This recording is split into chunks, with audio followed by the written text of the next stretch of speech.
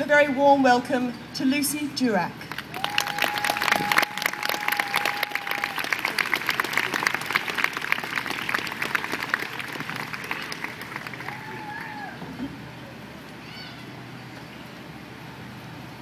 Hello.